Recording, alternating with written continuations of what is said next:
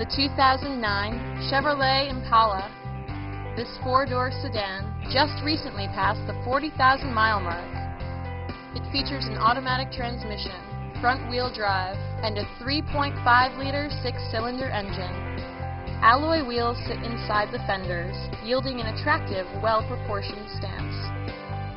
Chevrolet also prioritized safety and security with features such as dual front impact airbags, front side impact airbags, head curtain airbags, traction control, and four-wheel disc brakes with ABS.